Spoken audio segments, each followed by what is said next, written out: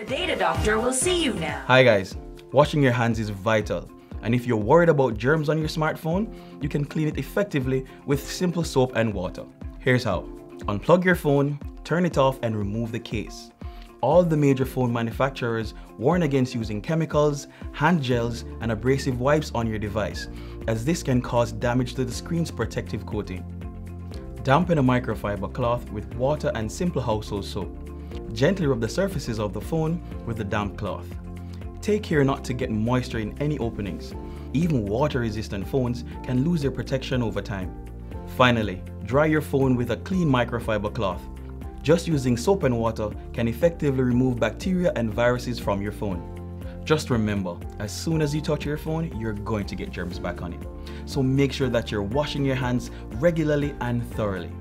Don't forget, prevention starts with you.